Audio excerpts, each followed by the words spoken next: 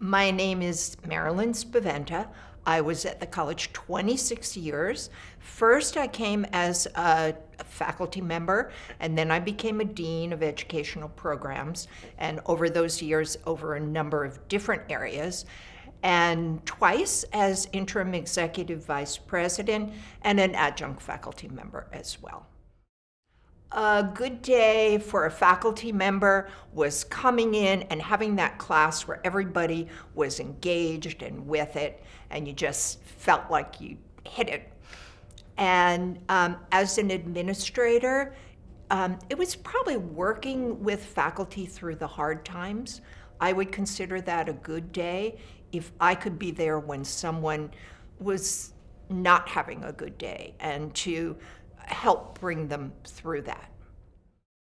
Um, it's, it's the energy of the class because you can have the same lesson plan and be the same person and want to do the same thing at your 10 o'clock class and your 2 o'clock class, and you can get a totally different reaction. Um, so you have to adjust to the people in the room because that's what makes it all happen. You have to know, uh, and you you figure that out over a number of times of teaching. Um, what is it that's going to spark that group? What is it that is going to fall flat for someone, uh, for another group, and make those adjustments? It's not their job to adjust to you all the time. Um, and the dynamic is different in uh, different people, and sometimes you don't know what's sparking someone. You have to have to get to know them a little more. Well, when I was teaching ESL, it was always uh, with my colleagues outside of the department, um, hoping that they would understand who our students were. And also with the students, uh, very often when they were transitioning out of ESL, they would be nervous about being in classes with native speakers.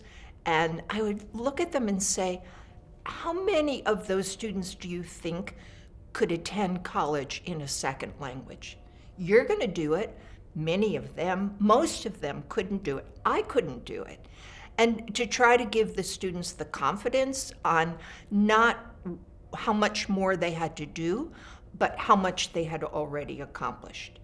And then, um, as Dean of Math and Science, I had the privilege and the honor of working with our MESA program and our STEM transfer program. These are both programs that, um, that open the door for students who might not see themselves in these very competitive, challenging fields of math and science, where we need more women, we need more students who are not typically represented in those fields to bring new ways of looking at science and math, and also these opportunities for students who have the capacity. So those are programs I feel, I know have been very, very successful. I've seen where some of the students are. They're now in our community. They're working as engineers. And um, that's something I'm really proud that the college has. I was very involved as a faculty member in a lot of organizations and committees, and I still remember um, we were thinking of leaving here because my husband was in the same field and we had a nepotism policy. So I went to see uh, one of the deans to ask for a letter of recommendation. And he said, Oh, I thought you were going to talk to me about applying for the dean position. And I said, Are you crazy?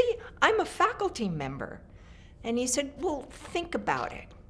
And I happened to be going to a conference for women on women's leadership in community colleges. So I used that question during that conference for myself. Is this something I could do? Is it something I would want to do? And I came back and applied for it.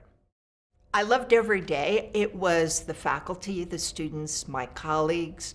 Um, I got to hire faculty, which is a really interesting process, and to evaluate faculty.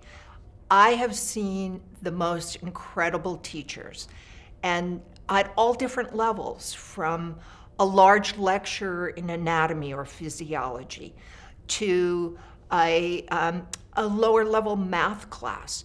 The students are different. The approach has to be different. And we, I've seen, I'm a better teacher today for what I've seen from my colleagues. And to listen to the students, for what works for them, why they are here, um, is, is truly, truly interesting. Now, this may sound funny. Um, it's going from being trained as an ESL professional to become the Dean of Math and Science as well. I was the Dean of Math and Science, Languages, and ESL. Languages and ESL, I understand. Math and Science, I have no background in. I had to gain the confidence and respect of the faculty and staff in those areas. And I think it was my own cross cultural training, my experience in living in other cultures that really taught me to look at each area, in this case, each department, as a unique culture and to try to figure it out what were their strengths? What were their issues? How could I be the best dean, which is an advocate, a communicator? How could I do that in areas that I didn't have a background in? So I worked hard at that and loved it, loved it, and learned, again, learned so much really, really grateful for all the opportunities I had here and to be part of what I think is a really important part of our society. Okay. It's real equity here. We're, we're always striving towards it, um, and it's more of a challenge um, because we are an open door institution. So, how do you give everybody what they've come here for. You're never going to reach that point. And it's really fascinating to constantly be striving for that. I like that challenge. I would like people to know how very passionate I've always been about the mission of the college. I always tell people who don't know much ab about community colleges this is really the only institution in the world, a community college, where anybody can come at any time in their life and remake themselves. That is amazing. Um, and not everybody takes advantage of it, but so many do. And when I walk around town, I still see my ESL students. I hadn't taught there for 15 years, but I see them in all different professions around the city. I see our um, our MESA students and our STEM transfer program students moving on. I see students I saw in our biology or chemistry classes moving on to great careers. Um, I see the emails they write back to their professors. And um, I, I always told parents too that we don't judge our success by how many students get A's in a class or pass a class. It's after they leave us, were they prepared? And when students go to um, a four year institution and write back and say, um, I'm better prepared than some of my classmates that started here. I know this, this is what has fueled my passion for doing something that makes a difference in the world. I already miss, um, I miss all the people. I miss the energy, the different things that are going on. Um, you know, it was it was a great ride for me.